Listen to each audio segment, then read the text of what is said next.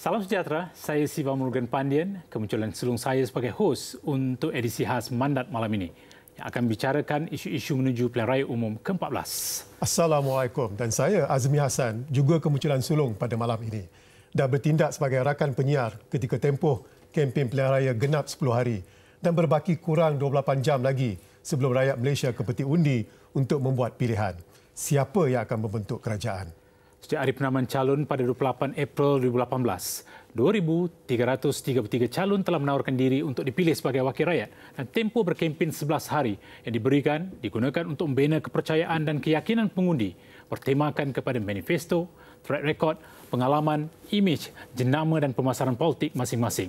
Tetapi dalam mencari kematangan berpolitik secara berhemah, ada juga yang padat dengan fitnah, tomahan dan simpati semata-mata untuk meraih sokongan. Dan bagi saya wujud trend baru iaitu pertembungan di antara memangkah perkhidmatan yang diberikan selama ini ataupun memangkah tuduhan emosional hanya semata-mata untuk meraih undi. Ini juga adalah demokrasi kata sebahagiannya. Ini juga hak kata sebahagian yang lain. Tapi apa hal pun percaturan persepsi mewarnai PRU ke-14 kali ini. Malam ini, mandat merasa cukup bertuah kerana disertai pengurusi Barisan Nasional yang juga Perdana Menteri yang amat berhormat Datuk Seri Muhammad Najib Tun Razak untuk berkongsi amanat terakhir beliau sebelum rakyat Malaysia menunaikan tanggungjawab pada 9 Mei ini. Apa khabar Datuk Seri? Alhamdulillah. Ya Datuk Seri, um, melihat kepada perjalanan Datuk Seri tadi tiga program hari ini di Sabah tergesa-gesa ke sini. Kami amat berterima kasih dan mengalu-alukan kedatangan Datuk Seri. Itu juga menunjukkan pengalaman 42 tahun Datuk Seri melalui 8 pilihan raya dan ini merupakan pilihan raya yang ke-9 apakah perbezaan Datuk Seri lihat dari sudut berkempen pemilihan calon? Kerana ada yang menyatakan bahawa Datuk Seri telah mengambil masa hampir 10 bulan menyaring meneliti melakukan uh, mungkin uh, yang paling rapi sepanjang pilihan raya sebelum-sebelum ini Datuk Seri Ya, saya mengakui bahawa ya. uh, proses uh, pemilihan calon pada kali ini adalah yang paling teliti dan hmm. rapi yang pernah kita lakukan ya. sebelum ini. Lah. Dalam saya dah melalui sebenarnya 8 pilihan raya ya. dan satu pilihan raya kecil, 9 hmm. sama sekali. Ya.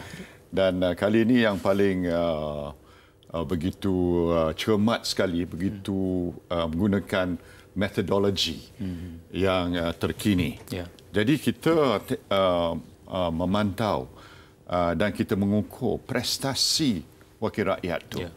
uh, untuk tempoh uh, empat uh, tahun sebenarnya.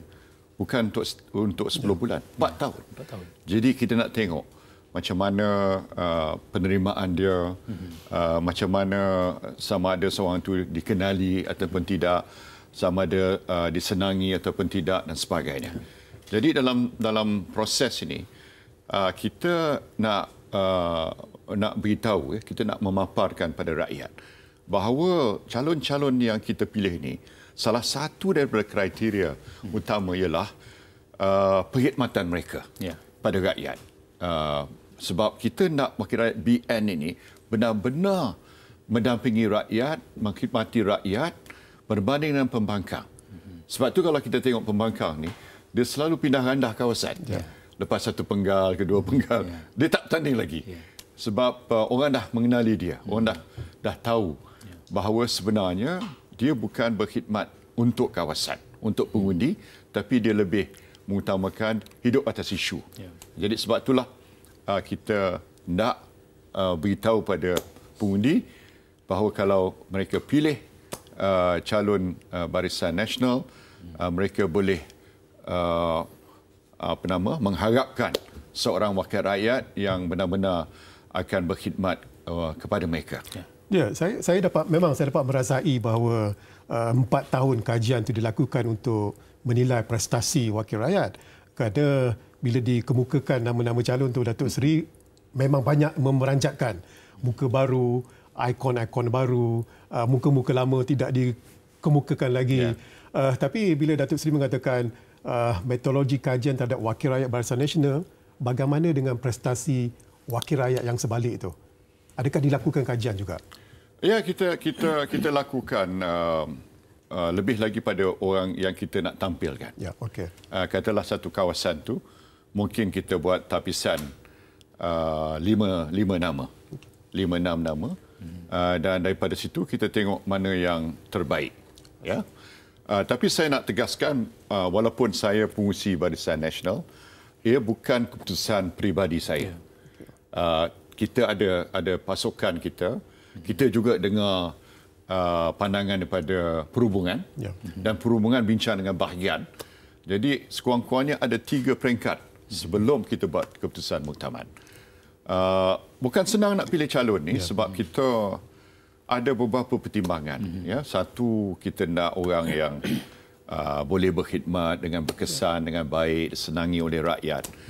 Uh, satu ya. Kedua, uh, kita nak juga ada pembaharuan dalam parti. Uh, rejuvenation orang, orang putih kata dalam parti. Jadi maknanya sebahagian tu terpaksa uh, bodoh lah. Kalau tidak tak ada muka baru, ya. Lepas itu uh, maknanya kita nak peratusan muka baru, Ya. orang muda, ya. Sebab kita nak lihat BN ni parti yang uh, party of the future. Orang, orang putih sebut ya, Ya. party of the future. Kita tak nak orang lihat eh oh muka sama je kan. Ya.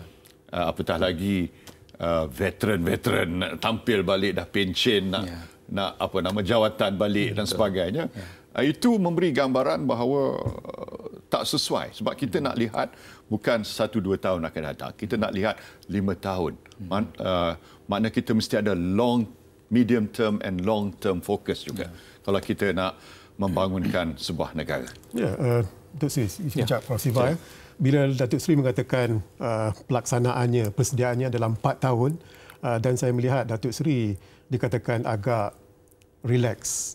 Uh, hmm. dalam dalam masa tak sampai 24 jam 48 jam lagi uh, kami pula yang menggelabah dalam hal ini adakah dikatakan bahawa keyakinan ini adalah bukan saja dibuat-buat tapi memang Datuk Seri yakin bahawa perancangan yang dilakukan ini adalah akan membuahkan hasil kepada Barisan Nasional. Uh, InsyaAllah um, uh, tahap keyakinan saya uh, boleh dikatakan berada di tahap yang uh, tinggi. Maknanya uh, bukan kerana saya rasa saya patut uh, mempunyai keyakinan. Tidak. Uh, tetapi kerana saya lihat pada uh, tempat-tempat yang saya telah lawati, uh, laporan yang saya terima, uh, termasuk juga uh, lawatan Timbalan Perdana Menteri dan Menteri-Menteri Kanan dan sebagainya. Saya lihat bahawa keadaan sebenarnya ya, reality on the ground. Ya, okey. Ini bukan mainan media sosial eh. Uh, ini itu cerita lain. Yes. ini on the ground reality Ya. ya. Uh, maknanya political base kita ni uh, masih kokoh lagi. Uh, kita tahu di mana kekuatan kita, kita tahu juga di mana kelemahan kita. Uh, political base kita Ya. uh, masih lagi kokoh, masih lagi intact. Sebab itulah um, mungkin uh, saya boleh uh, menampakkan uh, uh, tahap uh, keyakinan uh, kerana saya tahu kita ada kekuatan sebenarnya. Datuk Seri, ada juga yang bertanggapan dengan keyakinan sedemikian rupa. Ada satu lagi pihak yang mahukan gerakan tsunami Melayu. Kerana merasakan sudah ada gerakan tsunami bukan Melayu, maka untuk melengkapkan gerakan itu, mereka mencanangkan bahawa jika berlaku tsunami Melayu, maka itu akan dengan mudah uh, mempengaruhi prestasi di belah sana. Dan juga ada yang bertanggapan inilah peluang untuk menumbangkan UMNO dan Barisan Nasional. Jadi apakah uh, Datuk Seri percaya bahawa tsunami Melayu ini akan berlaku pada 9 Mei nanti? Uh, tidak. Ya. Uh, yang, yang, an- yang dalilnya antaranya kalau mereka yakin sokongan orang Melayu, kenapa mereka tak buat uh, ceramah besar-besaran mereka di kawasan Melayu? Ya. Kalau kita tengok uh, pembangkang punya ceramah, dia kebanyakan di kawasan bandar. Betul. Dan yang hadir itu sebahagiannya bukan orang Melayu. Kebanyakannya penyokong DAP yang hadir. Dan uh, kita juga dapat tahu mereka gunakan bas juga uh, untuk membawa penyokong daripada kawasan, Kawasan lain. lain, ya. Jadi bukan bukan penyokong setempat in situ. Saya selalu beritahu, saya tak perlu kepada bilangan yang besar tapi saya nak pengundi tempatan, orang tempatan yang hadir.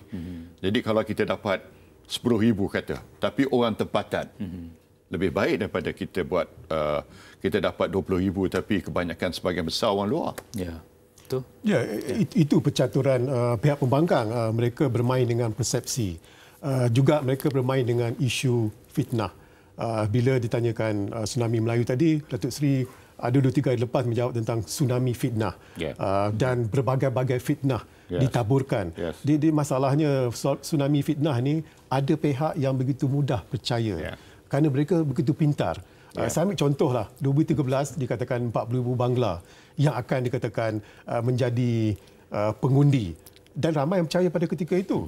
Uh, dan pada ketika ini juga tsunami fitnah tu akan menjadi lebih sophisticated lagi. Jadi bagaimana Barisan Nasional menghadapi tsunami seperti ini? Uh, kita terpaksa uh, membuat uh, langkah-langkah uh, bagaimana kita boleh uh, menggambarkan keadaan yang sebenarnya ya. dan juga menjawab uh, fitnah mereka itu. Ya. ya? Uh, barangkali pilihan raya dulu tu kita sebab cerita tu tak masuk akal. Ya. Memang tak masuk akal. Bila tapi tak masuk akal, percaya. kita Ya, kata okey. eh takkan orang percaya. Ya, hmm. tapi kita silap. Uh, banyak orang percaya. Ya. Uh, saya uh, sebab itulah uh, kalau tapi tapi kalau kita fikir kalau nak bawa 40,000 uh, pengundi hantu dari Bangladesh uh, kita memerlukan 1,000 jumbo jet. Ya. Ya kan? Ya. Tak ada orang pun tengok satu ada jumbo jet langsung. Tapi masa itu saya heran kenapa orang boleh boleh percaya. Jadi kali ini kita kita akan uh, kita akan anggap sebarang fitnah yang mereka tabur itu perlu dijawab. Ya. Dan kalau boleh jawab dengan segera kata supaya rakyat dapat tahu uh, bahawa inilah yang sebenarnya. Ya. Malahan Datuk Seri, kalau kita perhatikan, seolah-olah ini telah membawa kepada politik kebencian. Ada setengah pemimpin gunakan itu melahirkan politik kebencian kepada Barisan Nasional, seolah-olah persepsi itu di, dibina secara berterusan. Ya. Jadi, ah, bagaimanakah untuk mengatasi persepsi Ya. pengundi itu sendiri? Yang Ya. kita lihat, di sini kita Barisan Nasional memberikan perkhidmatan, Ya. tapi di satu pihak lain menggunakan kebencian, Ya, simpati. betul, betul. Bagaimana untuk atasi uh, perkara Ah, tersebut, Datuk Seri? Ya, saya sedih juga sebab saya nak Malaysia ni politik kita ni uh, yang uh, berdasarkan pada demokrasi tapi demokrasi yang dah matang. Ya. Mature demokrasi. Uh, dalam uh, demokrasi yang matang, kita patut patut uh, membuat pertimbangan dan kita patut debate tentang uh, track record, Ya. uh, prestasi, uh, dasar, agenda, manifesto, uh, hala tuju. Uh, inilah yang patut menjadi uh, tumpuan dalam kita membuat uh, perbincangan. Bukan soal fitnah, bukan soal persepsi, bukan politik kebencian. Tapi malangnya pembangkang dia tak ada senjata ampuh melainkan gunakan fitnah dan kebencian. Sebab kita ambil manifesto dia sajalah. Manifesto dia tak mendapat sambutan dan tak dapat peng- pengiktirafan oleh badan-badan antarabangsa, oleh rating agency dan sebagainya. Tak ada orang cakap pasal manifesto dia. Betul. Tapi mereka ambil manifesto BN dengan serius. Maknanya kita ada agenda, kita ada perancangan dan kita telah membuktikan bahawa selama lima tahun ini kita pun telah dapat melaksanakan uh, apa-apa janji kita sehingga 99.4% itu tahap yang Ya, yang tinggi, begitu ya. tinggi sekali tu. Dan ada juga dalam bab-bab tentu kita melebihi sasaran kita. Ya, tap- tapi masalah Datuk Seri dalam di pentas ceramah uh, isu-isu yang populis, isu-isu yang enak didengar. Uh, jarang sekali saya mendengar mereka membahaskan manifesto, uh, dasar-dasar yang akan mereka lakukan. Uh, jadi itu yang dikatakan Ya. uh, rakyat Ya. termakan dalam dalam hal ini. Ya betul dia termakan. Uh, kerana kita ni suka suka dengar cerita bila bila orang kena kutuk. Ya.